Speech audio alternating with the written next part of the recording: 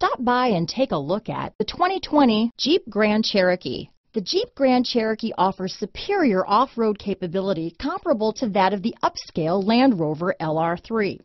This makes the Grand Cherokee a fine choice for families who venture off-road or vacation in the mountains or other remote areas.